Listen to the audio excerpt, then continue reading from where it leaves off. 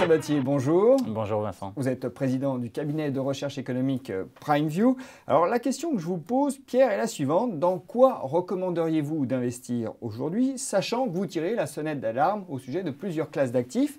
L'immobilier, par exemple, vous voyez sa baisse pour des questions euh, démographiques, et je renvoie les internautes aux interviews très complètes que nous avons pu mener ensemble sur le sujet. En ce qui concerne la bourse, bah, à vous écouter, on hésite franchement à aller sur les actions, puisque vous estimez qu'il y a un vrai risque en Chine, et que le Japon ira un moment ou un autre dans le mur.